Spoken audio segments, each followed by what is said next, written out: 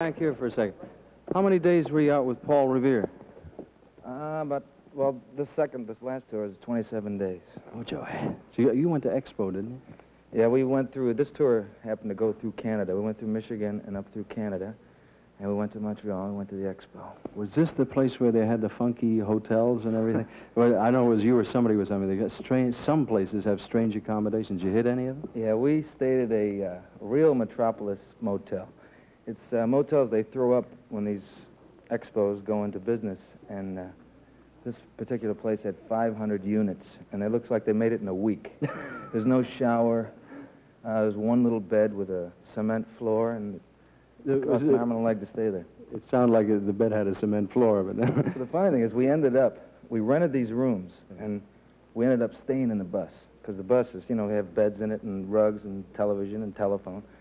So we rented these rooms, and uh, we ended up all sleeping in the bus. that's wild. Well, you're back home now.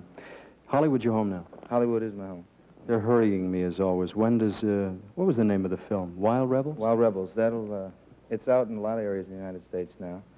And uh, Los Angeles, I think it comes uh, the 20th. What's the name of the guy you play? Rod Tillman. This is one of those wild car motorcycle jobs, and you But see. I, I'm a race car driver, though. I don't Yeah, try to...